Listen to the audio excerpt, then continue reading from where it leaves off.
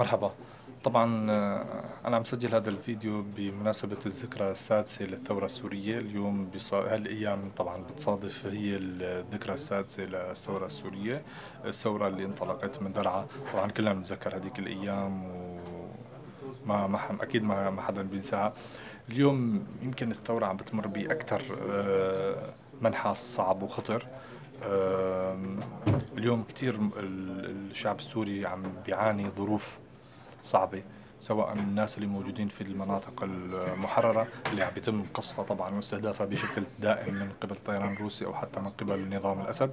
وطبعا المناطق المحاصرة واللي كان طبعا آخرها للأسف الشديد حي الوعر اللي تعرض لتهجير للمدنيين ولأهالي حي الوعر بعد سنوات من الحصار تماما مثل ما صار مع دارية ست سنوات مريت على الثورة.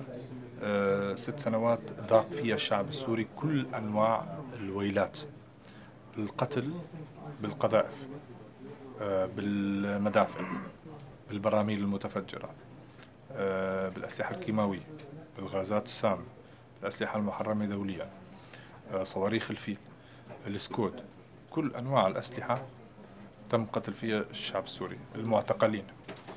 المفقودين سواء عند نظام الأسد أو عند ميليشيا حزب الله اللبناني أو الحرس الثوري الإيراني أو إما داعش والقاعدة. ست سنوات عم يدفع فيها الشعب السوري كثير من من حياته. دفع روحه دفع أغلى ما يملك لي ليوصل لهدف واحد إنه هو يطالب بحقه بالعيش بحرية وكرامة. وهذا أبسط شيء كان عم يطالب فيه الشعب السوري ما طلب أكثر من هيك. أه ست سنوات وما زال الشعب السوري متمسك بثورته بمبادئ أه الثورة بحريته بحقه أه بكرامته. وما سمح لأي حدا ما عم يسمح. في كثير آه، آه، جماعات أو فصائل. طبعا حاول النظام وتم طرد النظام من المناطق المحررة. آه، اليوم في جماعات عم بتحاول تمارس نفس نهج النظام ونفس نهج داعش على المدنيين ولكن الناس مصرين متمسكين بحقهم متمسكين بحريتهم وبكرامتهم ما راح يسمحوا لأي حدا بأنه هو ينتزع هذا الحق منهم. لو شو ما كلفهم الأمر وعم يدفعوا ثمن غالي لهذا الأمر. ما راح طول أنا كثير بتمنى إنه سنة آه، دخول الثورة عام السابع يكون هو العام الأخير لمعاناة الناس هو العام اللي ما راح نشهد فيه آه، تهجير للعالم. لا رح نشهد فيه عودة الناس لبيوتها لمنازلها عودة النازحين عودة اللاجئين أه نتمنى أنه يكون 2017 هو بناء سوريا. الانتهاء من آه، نظام الأسد من ميليشيا حزب الله اللبناني من الميليشيا الإيرانية الحرس الثوري الإيراني طبعا من داعش والقاعدة ترجع ثورة مثل ما بدأت مثل ما كانت ثورة الشعب السوري لحريته كرامته وعدالته.